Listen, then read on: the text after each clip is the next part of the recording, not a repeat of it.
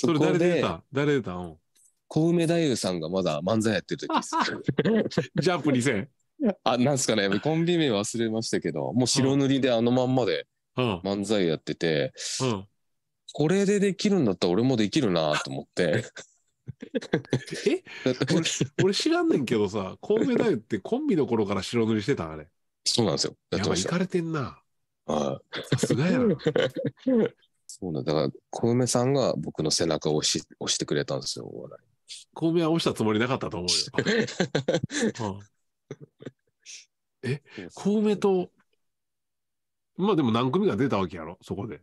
出てました、出てました。うん。あ後の方はでも覚えてないですね。多分、もうやめてるんじゃないですかね。んあ、そう。なんでそこに見に行こうと思ったよ、ほんま。あたまたまやってたから。えー武蔵小村住んでたんで僕、あその商店街で呼び込みとかやってんのよく見てたんですよ。無料ですとか言ってたんで、ああ、いやいやいやはい。じゃあちょっとやってみようかなと。そうです。ほんで JCA 応募したら落ちて。落ち落ちましたね。じゃあそれも尖ってたんで、うん。JCA で落ちて、僕電話したんですよ、JCA に。うん。な、なんで落としたんですかとか言っおー、しびれる。うん。いいて。ね。やばいですよね。したらそこで電話で、うん。ちょっと細かい話なんですけど、電話でそのサンミュージックの養成所ありますよって言われて、うんそっち行ったらどうですかみたいな感じで言われて、まあじゃあ分かりましたよとか言っ。て 切ったんですよ。でも後々そのサンミュージックの養成所に入った同期たちに聞いたら、うん。全員に手紙が送られてきてたらしいんですよ。うん。で、オーディション料が当時なんか2000円かなんかかかったんですけど、うん。その手紙が来た人はオーディション料が無料になるなるほど。うんん。ですけど、僕は直接電話して聞いちゃったんで、うん。2000円きっちり払ってたんですよね。僕だけきっちり払ってたらしいです。変にクレーム入れてしまったからな。そうですね。えらいわなかったもんやな。本当ですよ。家に手紙来てなかったん？それは。来なかったです、来なかったです。もう、きっちり僕にだけそういうの送んないで。そうか。先に電話してしまったからか。で、名前も言ってたんで、うわー。すごいな。電話すんねや。なんで落としたんですかって。いやー、やばいですよね。今思えば。だってそもそも JC のオーディションで、誰に憧れてますかって言われて、ダウンタウンさんですって言いましたもんね。NSC 行けよって話だもんな。そもそもがな。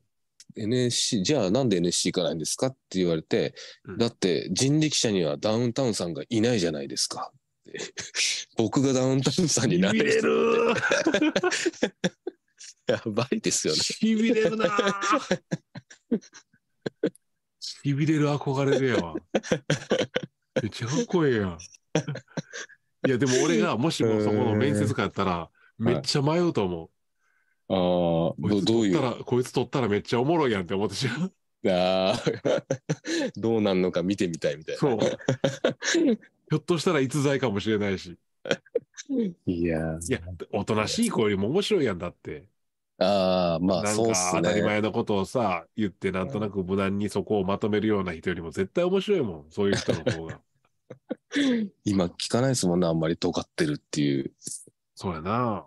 うんあれ JCA さ、それもし入ってたら誰と同期ぐらいなんの？それは。ええ誰なんでしょうね。JCA。NSC だと、あの、ジャンポケさんとかなんですよ。ああ、はいはいはいうん。ちょっと待ってな。ホマさんがスパチャくれて、あ、わらふじなろうさんはコントも漫才も実績ありますが、今後も両方注力されるのでしょうか？注力。すごい言葉遣いで。もともとな、コントのイメージやけど。そうですね。で、最近でも漫才やり始めまして、うん。でも、どっちかっていうと漫才に今は力入れてますかね。前ほどその垣根がなくなってきてるというか、結はい構な、昔は M1 とキングオブコント決勝行くけど結構分かれたけど、今も結構被ってるもんね、メンツがね。そうですね。うんやっぱ M1 の人気がすごいんで、はいはいはい。あやっぱ、今年も漫才で行くようになってきてんな。そうですねあ。こう目指した方がいいよなっていう感じになってききてますよね。ーうんまあ、時間制限もあるしね、15年っていう。あ、そうですね。はうんあの、学生時代はどうやったの？人気者やったの？それとも、おとなしい方。あ、もうおとなしい方です、全あ、然。本当。その、は文化祭で漫才やったりとかでは全い。然いやいやいやいや、もう全然やってないですね。本当だから、まあ男の一部の中で面白い人って思われてるみたいな、ええほう。そんな感じのあれでしたね。そっちのこの小さなグループの中では結構盛り上げ役やってん。そう、まあ盛り上げるというかもうボソッと、ボソッと面白いっていうみたいな。じゃあちょっとその、その中ではちょっと一目置かれてるみたいな。そうです。クラスの松本さんだったわけですよ。その一 クラスの一部の。そこで手応えを得て、あの尖った面接につながるわけやな。うん。つながってしまったんですよ。つながってしまったんか。すごいな。いいや、まあまあ、でもな、結構やっぱりタイプ分かれるもんね。お笑い芸人になるって。そうですよね全然クラスの人気者でも目立った存在でも何でもなかったし。うー。うんん。そっちの方が多いですよね。親戚の集まりでも俺一番おとなしいし。ああ、いやいや、わかりますわかります。もう、うん。いまだにでもそうですけどね、結構その、うんパパ友とかそういうところの中でもう一切喋んなくなっちゃいますもんね、やっぱり。まあ、周りは知ってんの？その、お笑い芸人やってはるみたいな。知ってますね。知ってますけど、うん知った上で喋、喋れないというか。なんか言うてきたりする？先生とかが。この前見ましたよ、テレビが、とテレビとか。ああ、なんか保育園の時はありましたけどね。うん今は、小学校ってなんか意外とそれないんで、その、うん先生と喋るみたいな。うんうんうん。保育園の時なんか言われましたね。その、やっぱ他の子供たちにも伝わるんですよ。伝わるとか知られちゃうんですよ。うんお笑い芸人やってるっていうのはうん子供が一回、うん年中ぐらいの時に、うん年長さんの女の子がこうバーッと僕の前に近づいてきて、ほううねえねえ、お笑い人間なんでしょって言われて。お笑い人間だよって答えました。だいぶ話違うよね。だいぶ話がね、お笑い人間って言うとすげえストイックな 本人間。当に。かわいいっすよね。かわいいよな。お笑い人間。小学校2年ぐらいになったらさ、もうお父さんの仕事が何かちょっと分かってくるやろ、だって。分かってます、もう。分かってます、全然。お笑い芸人。そのお父さんの出てる番組見たいだとか、そういうことは言ってけえへんの、全く。僕は見せてないんですけど、かみさんが見せてるみたいですね。別に見せるなとも僕言ってないんで、なんとなく僕の態度で見せたくないんだろうなみたいなのは感じ取ってると思うんですけど、はあれ？あのネタとか、安全交通のよだれでこですっていうあの、い。あれ？うん千鳥さんのやつですよ、それ。僕のじゃないんですよ。シドルのネタをカバーして、水曜日のダウンタウンでやってたやつだ。やりましたね。うん。あれ、反響すごいっすね、やっぱり。スイダウの反い響やそうや。ろ。あの時まだ全然ファイナルとか行ってない頃やろだって。出ない頃でしたね。すごいよね。俺はひすごいテンション上がった。藤原出てきたと思って。しかも上手にやってると思って。ノブさんの警戒する目がすごかったですよ、最初に。あれ。そうやろうな。うん、怖かったでしょうね。とあ、そうなんや。いや、うちもさ、あの、春から子供が小学校に入るから、そうっすよね、おめでとうございます。いずれ、いずれその、父親の仕事気になるやろうなと思って。え、言ってないんですか？言ってないっていうか、まあ、一回聞かれてんけど、パパの仕事は何なの？って言われたからうん、いろいろやってるって言って。まあ、もうそうっすよね。俺はいろいろやってるって。いろいろやってる間違いじゃないもんな。難しいな、説明がと思って。そうですよね。パパはお笑い芸人だよって、そんな胸張ってさ、面白いことやってって言われたら地獄やんか。うん、今でも本当 YouTuber の方がちょっと、そうなのよね。普通に YouTube とか見るし、YouTuber という言葉は使えへんけど、うちの子供とかでも YouTube やりたいって普通に言ったりするもんね。ああ、いや、言ってます、うちの子も。将来なりたいって。そうなんや。いや、俺芸人になりたいよりも YouTuber になりたいの方が嫌やな。ああ、いや、そうじゃない？大変そうどっじゃない？ちも嫌ですけどね。うん。どっちも嫌ですし。そうやね。どっちも嫌やな。でもそれ言われたらもう、なんていうか決めてて、何々うん。芸人か YouTuber になりたいって言われたら、その、どっちもうん、その辺歩いてるおじさんも、今すぐにでもなれる仕事だから、うん。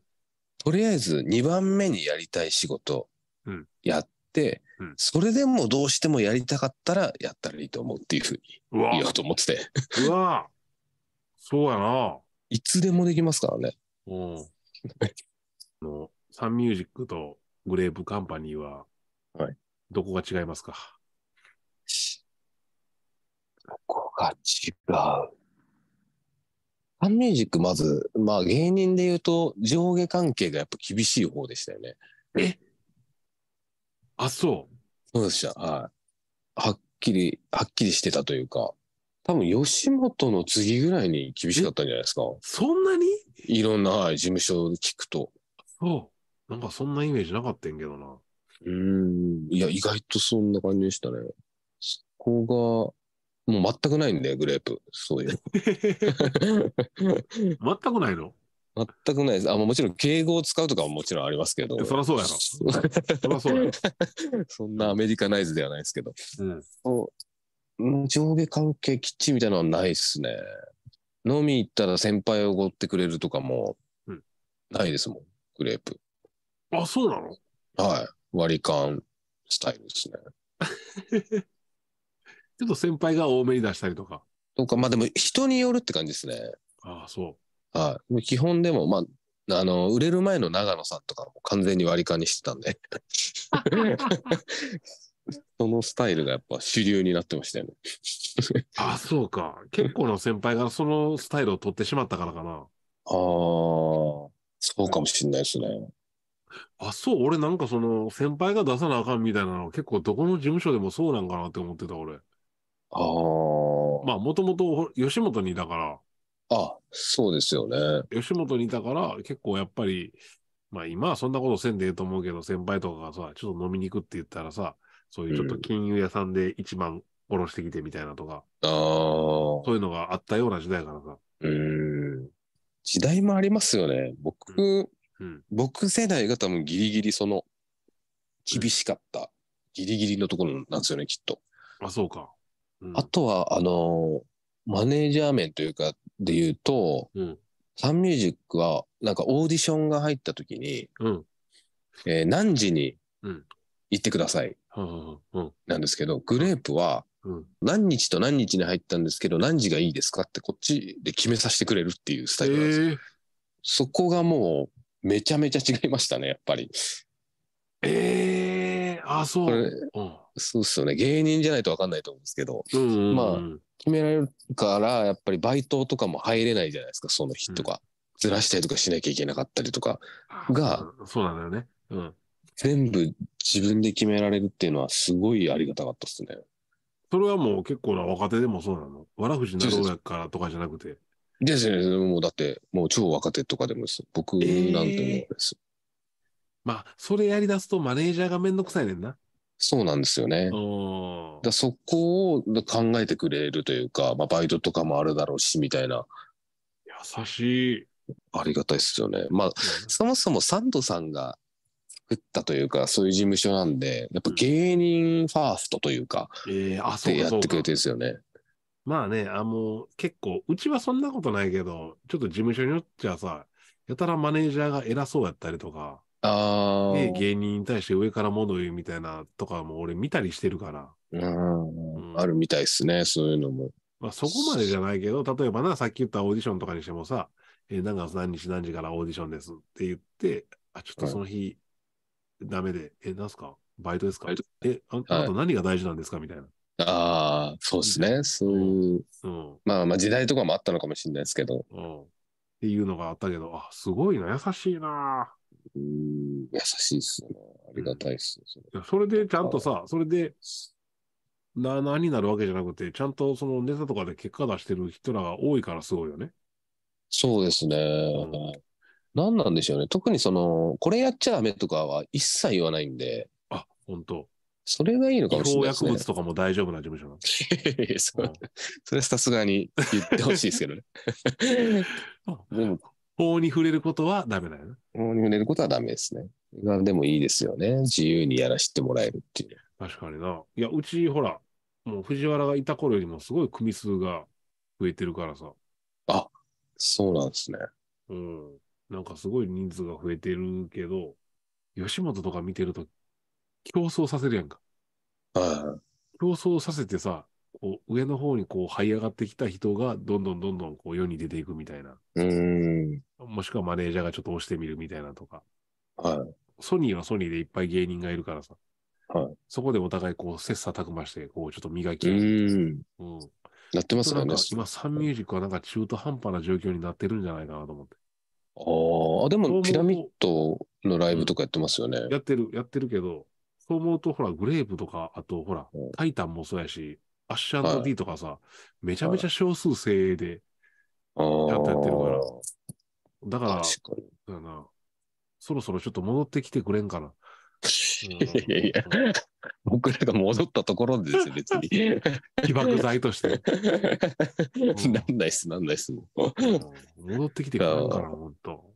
一応、その、なんかた、ピラミッドライブみたいなのもグレープやってるんですけど、そうなんや。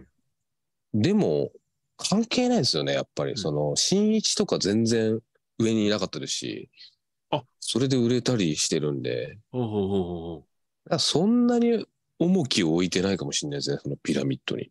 ピラミッドにね。なるほどね。ああでも、でもまあまあな。よそのライブで結果出すのが、ライブとかまあ大会とかで結果出すのはな、やっぱり重視されるべきやしな、それは。そうですよね。新一君は事務所ライブではアウェイなのかな？アウェイ？いやいや、全然そんなことないですよ。まあまあ、やっぱ事務所ライブってそうですけど、同じパッケージだとどんどん受けなくなっていくじゃないですか。あ、確かに。はい。でも外出るとしみんな知らないからバーンと受けるっていうパターンですよね。はい確かにみんなそうや。うち、ほら、ご存知のように、弊社はいっぱいあの、あの、ブレイクしたピン芸人たちがいるやんか。はダダンディさんにしろ、小島よしおにしろ、スギちゃんにしろ。はい世間でめっちゃキャーって言われてる時に事務所ライブであんまり受けてなかったりしたもんな。い。そうなんですよね。うん、な。あんだけ世間でギャーギャー言われて、学祭行ったらギヤーなってんのに、はい事務所ライブでははーん。不思議よね。不思議ですよね、あれ。うんそこのタイムラグがあるからな。はすごいなぁそのグレープのその原動力は何なんやろみんなが結構ネタがしっかりこう、磨いて、ちゃんと結果出してるっていう。い。なんですかね。それはきっとあの、おのののポテンシャルのみじゃないと思うねんけどな。いや、じゃないと思いますよ。特にその、うんネタの見せ合いっ子とかソニーの方してるじゃないですか。よく言うね。うんそういうのも別にしてないんですよ。グレープの人たちは。若あ、手というか。そああう。あーでも、なんか急に結果したりするんですよね。何そうなんやなんでしょうね。ソニーの芸人とすごいもんね。例えばもう、月に5本新ネタ下ろすライブとかさ、うん。やったりとか、お互いにな、なんか、うん。ネタ見せ合って、なんか、アドバイスしたりとか。そういうことをしてない。してないですね。おい、天才集団やないか。結局天才集団やないか。どういうことなんだろうな。もうでも自由にやらせてるから、うん。いろんな、いろんなパターンを作ってるのかもしれないですね。うんうん。